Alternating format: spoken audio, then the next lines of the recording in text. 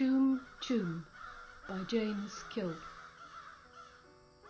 A jackdaw perched at her desk, white forehead and bib collar, her draped black veil and gown, silver crucifix upon her chest, black bead rosary, and cross hanging loosely from her side.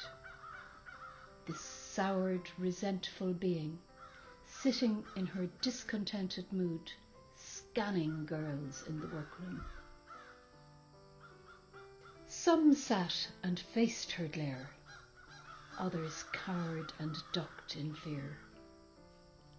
Wretched, unwanted children, pale, drawn, stomachs rumbling.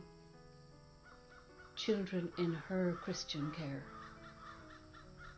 Purgatory the realm she ruled. They paid for their mother's sin. Winnie sat, her tiny frame shook and shivered in pain. Peritonitis, a poison killer. Out, out, into the yard, was their work break call. No whistle, no tinkling bell. Get out to hell, you all! Cracked, brown, tea-stained, chipped cups, lined along chunks of brown bread, not recently made, stiff, stale, and rigid, softened when dipped, held submerged, then dripping white drops when raised to eat. Drip, drip, drip.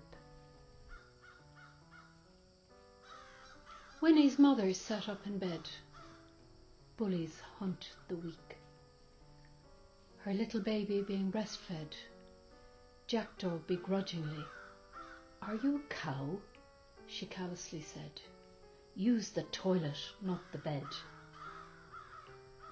This woman, now in Battersea, her daughter kept behind, filled wandering thoughts as she polished altar brass. Her child lay on the ground, the piece of bread she held being nibbled by a crow. In Tuam, in Tuam.